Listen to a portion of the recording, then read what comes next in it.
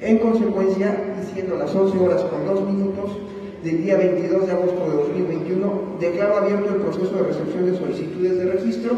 y por ende, presidente, estaremos en espera de cualquier eh,